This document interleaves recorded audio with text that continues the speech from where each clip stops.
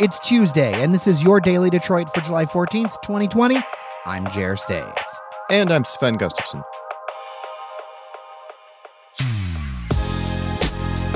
Big news today as a big name in Detroit business, Matty Moroun, the controversial billionaire owner of the Ambassador Bridge, has died.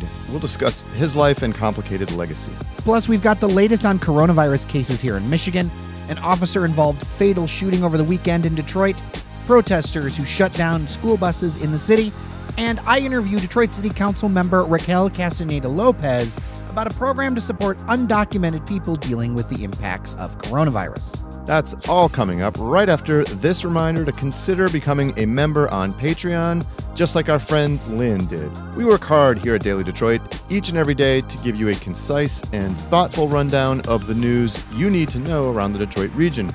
We make it available to you for free on your podcaster of choice so you can listen to us whenever you want. But it's not free to make this here show, and that's where you can come in and help us. Go to patreon.com slash dailydetroit, choose the level of support you're most comfortable with. In return, we'll say wonderful things about you on the show, and we'll even send you stickers and other swag.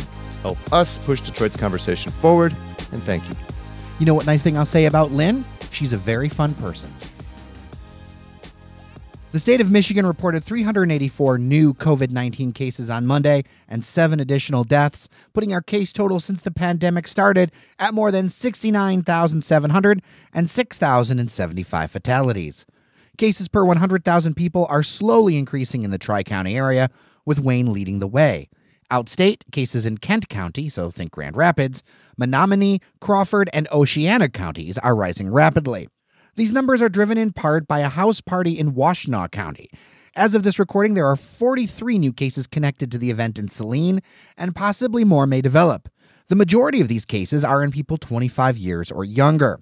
There are nearly 70 close contact exposures related to the party, which could result in more cases at a variety of spots across the state. And I'm sharing this list to show just how many places that people who aren't being careful around COVID 19 are visiting. The Washtenaw County Health Department says that there are trace connections to retail stores, restaurants, businesses, canoe liveries, clubs, camps, athletic teams, and a retirement community. Health officials say that close contact exposure is when you've had face to face contact with someone who has COVID 19 for 15 minutes or more.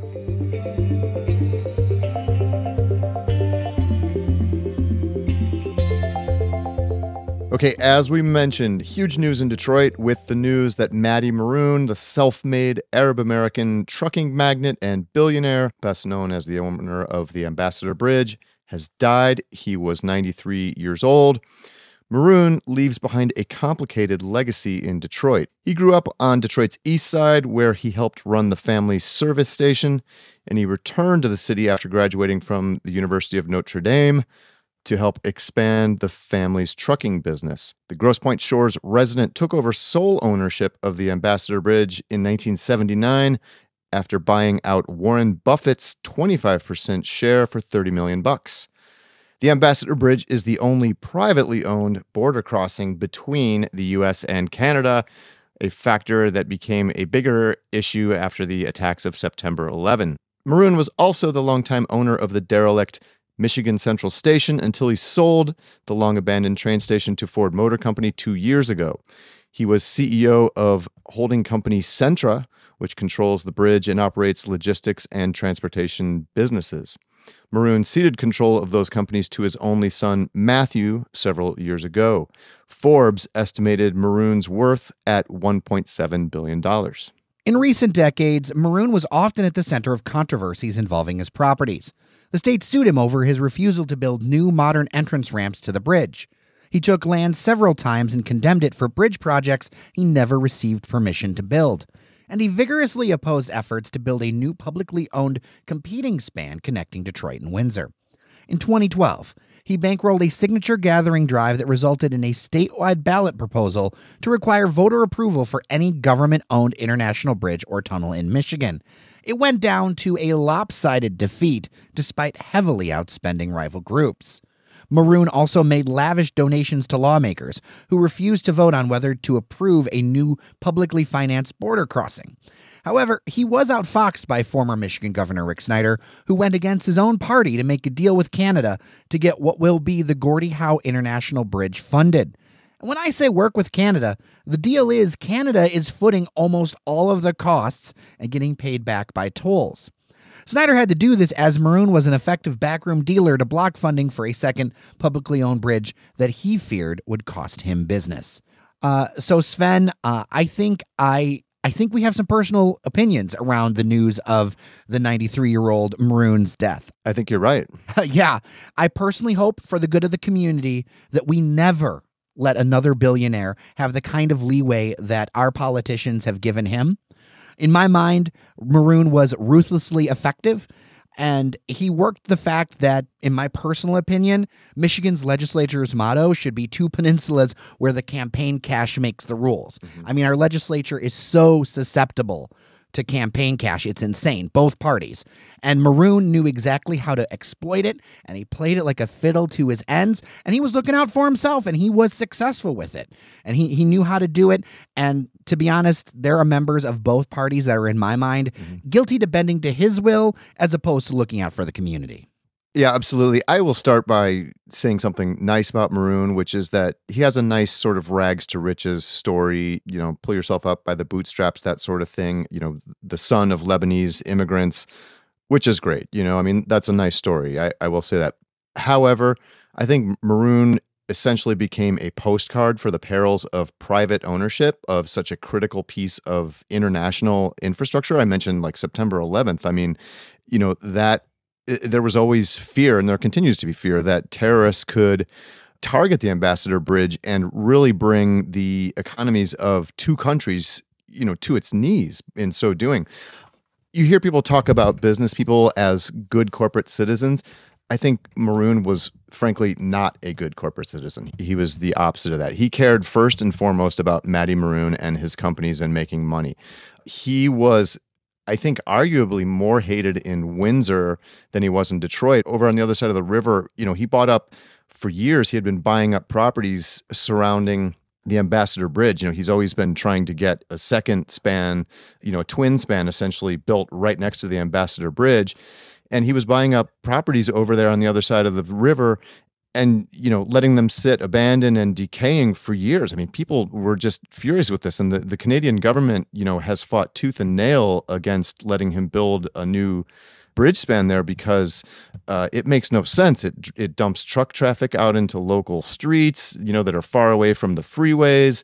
That's part of the reason that they're building this new second government owned span is because it's going to have much better linkage to the Canadian freeways and, and the US freeways. For that matter he was also never able to buy off, you know, Canadian lawmakers in the same way he did US and state lawmakers. You know, Matty Moroun just kind of did what he wanted to do. He ignored rules. I mean, I used to go running years ago back when I lived in Detroit in the neighborhood, you know, southwest Detroit, down including right near the foot of the bridge there. And I can remember uh, houses that one day that house was gone and the Morouns built the wall like separating their their truck plaza around the property that used to be there. He never had permission to do that. This is down in the area around St. Anne's Church. Mm-hmm. It stands to this day. Yeah, one small example uh, of something that he did routinely. I mean, he built a whole new bridge footing for this theoretical new bridge that I don't believe yeah, I, I still don't think he has permission to build it. He, you know, it may not ever be built.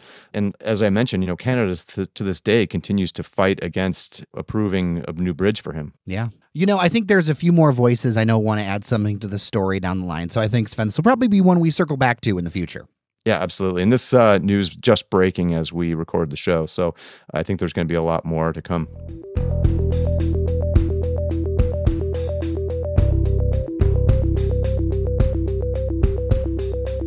Energy behind the ongoing protests in the city of Detroit renewed on Friday after a fatal shooting involving an officer near San Juan and McNichols on Detroit's west side. The protests built up quickly as rumors spread across social media of Hakeem Littleton's death and the rumored cause that a teenager was shot in the back of the head, execution style. Protesters marched from the Bagley neighborhood through the University District to the police precinct on Seven Mile near Woodward. That spurred Detroit police to release body cam footage from the officer within hours. It showed that the incident, in fact, did not happen as was rumored on social media. The video showed that the suspect reached for a gun in his pocket and shot first at a police officer at close range. Other officers on the scene then fatally shot the 20 year old Littleton. The whole thing escalated in less than five seconds. At the time, Littleton's associate, who police say is a suspected gang member, was being arrested on an outstanding warrant for distributing drugs.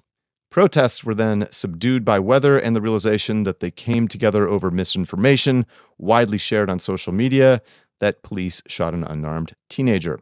Protests resumed Saturday with an attendance of about 100. Detroit Police Chief James Craig called the officer involved a hero.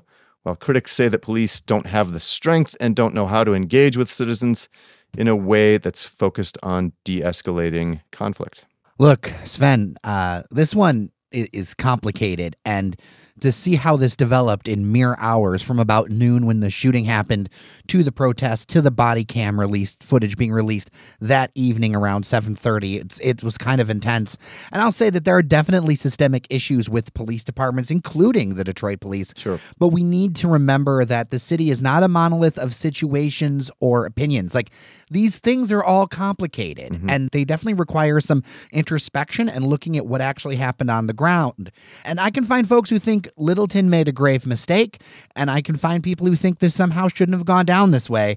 But uh, having covered some pretty hairy situations in the past, you know, working around news, you know, in the years past, this one in particular is hard to see another path that could have happened. I mean, once a gun gets drawn and pointed at an officer, I think all bets are, are kind of off.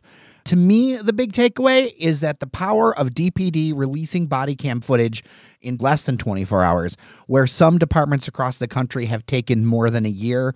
I mean, quick release of this footage every time would help bring a lot more clarity to these difficult conversations. At least I think more often. I mean, obviously, video isn't always going to solve it, but it brings a lot more clarity to what happened as opposed to rumors and hearsay it was just a good thing that they did that. And I think that needs to be a policy going forward. It's also a good cautionary tale about the ability of misinformation to spread rapidly across social media. I mean, thank God that nothing further happened beyond this fatal shooting, which is bad enough. But I mean, thank God something didn't cause destruction or, or further violence from their ire, you know, building up and everything, because, uh, you know, it's easy to see how something like that could have happened.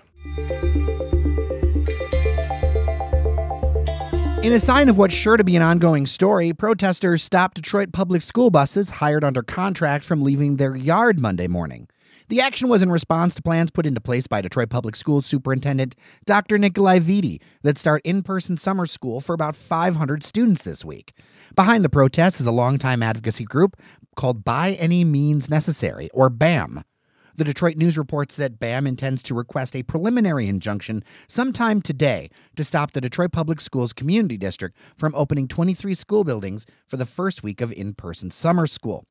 There are additional media reports that bus drivers for a private company were not tested for COVID 19 before going on the streets and not given training, masks, or sanitizer to deal with the students.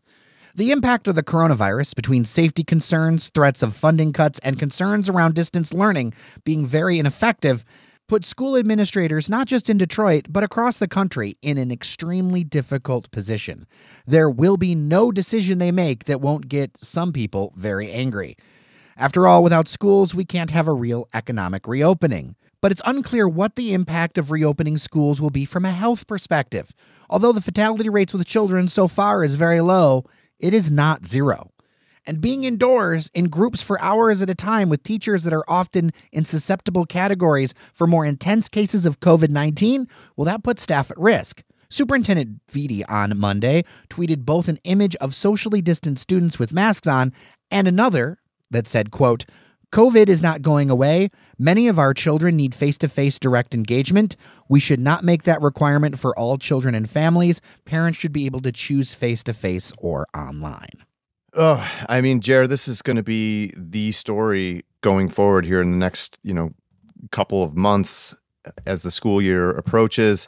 Los Angeles and San Diego have apparently already made the decisions to go online only. Those are obviously huge districts, which are going to set the tone for many others. I mean, I will say that Los Angeles is right now dealing with a major uh, uptick in coronavirus cases for what it's worth, but uh, you know, cases have been on the uh, upswing, mild upswing here in Michigan, of course, as well, as well as many other states in the country.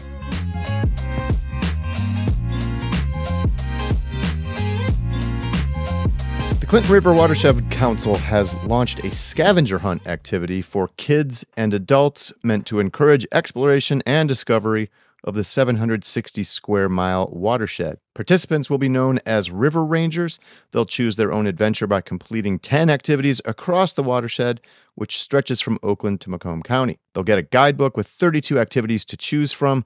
Examples include identifying native plants or animals or participating in a cleanup event.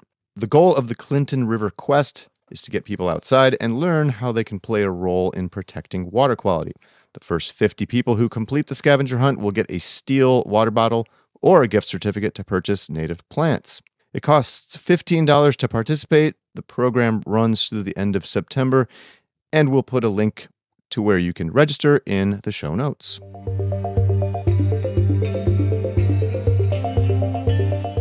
Joining me on the line is Detroit City Council member Raquel Castaneda Lopez and Seydi Sarr, the founder and executive director of the African Bureau for Immigration and Social Affairs, or ABISA.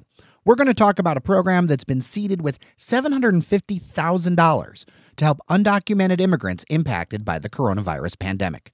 Councilmember Castaneda Lopez, let's start with you. Why do we need to do this? Why is it important to step up in this way? Uh, one, we know that undocumented people oftentimes work in essential roles and are the most vulnerable in our communities. And unfortunately, they were left out of the federal CARES funding. They didn't get a $1,200 check. They didn't get any type of financial support. And so we know as a community that it's important to make sure everyone is taken care of. And if we're not taking care of each other and everybody, then all of us are less at risk and less um, vulnerable.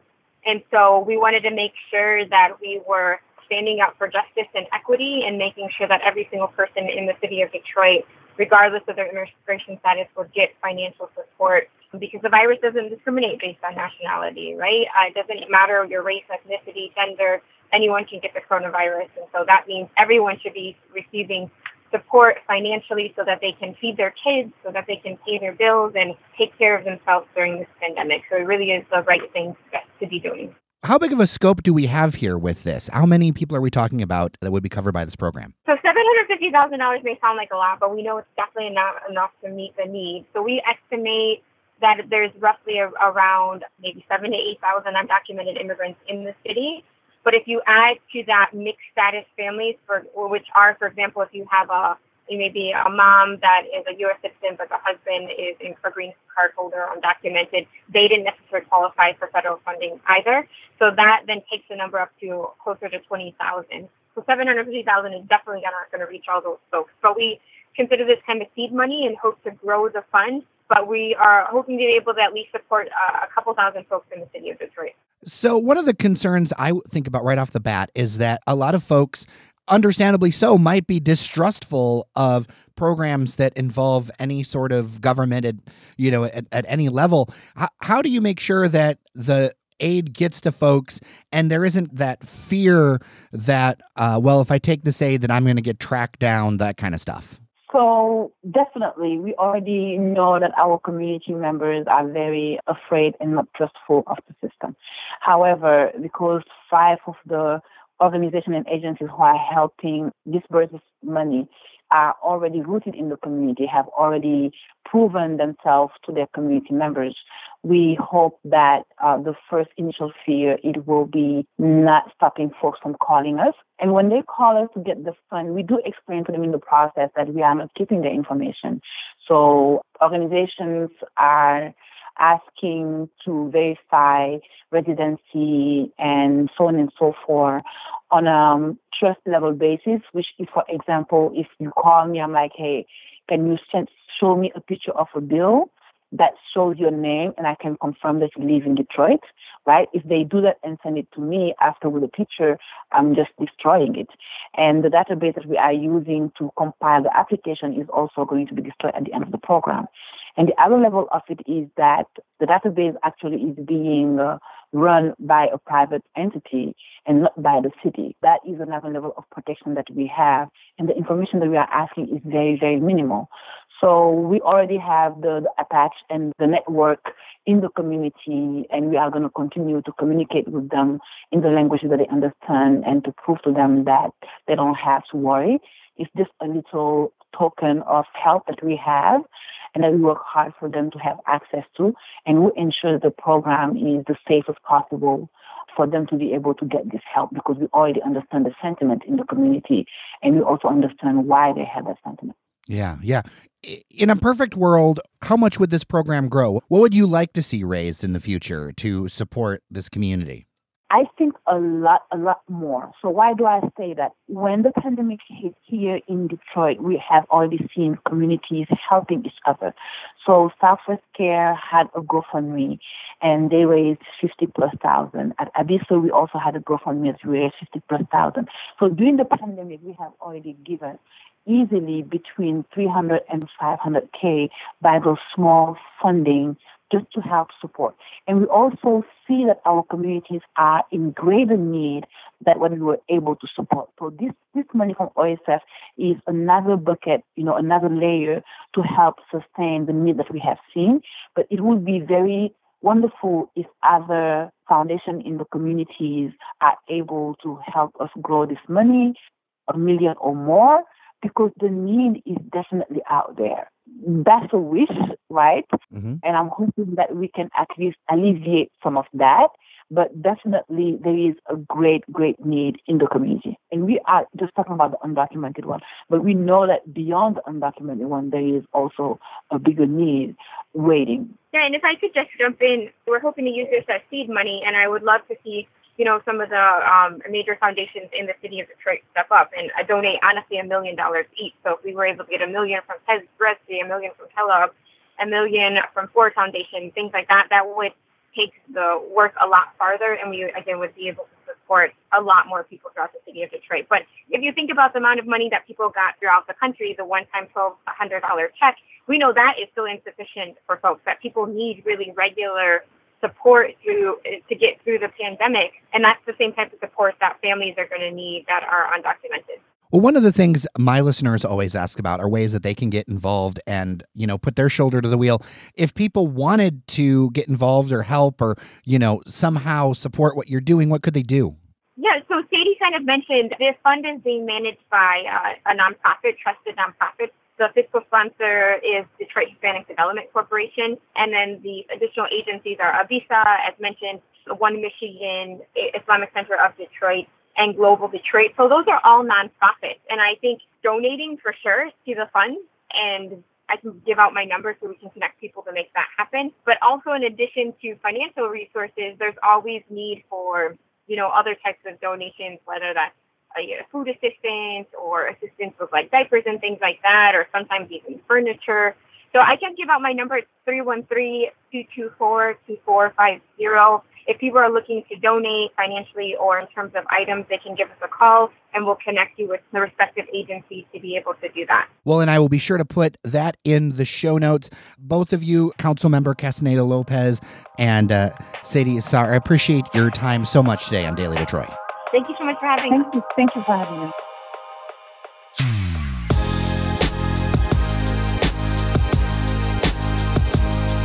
And that'll do it for today's show, friends. If you haven't already, tell your friends about Daily Detroit if you think they would enjoy us. Leave us a review on Apple Podcasts, and don't forget to subscribe wherever you find your favorite shows. And until we chat next time, thanks a lot. I'm Sven Gustafson. And I'm Staes. Take care of each other, and we'll get through this together.